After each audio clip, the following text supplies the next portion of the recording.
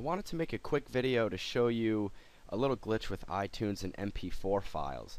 The other day I wanted to add a movie to my iPad, so I took my video, which is in MP4 format, for those of you who don't know, um, to add video files to iPads, iPhones, iPods, whatever. Um, they need to be in .mp4 format. Well, I have my video here in .mp4 format. I can actually double check that by clicking on the properties and uh, I can see that it's type of file MP4.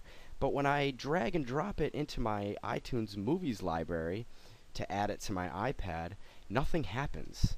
I'm I'm dragging and dropping it, and and nothing is happening, and it's not being added to my iTunes library, and it sure isn't being added to my iPad. So.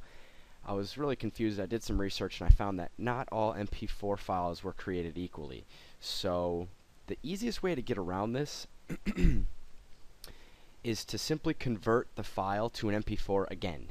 And there's a program called Any Video Converter. It's free.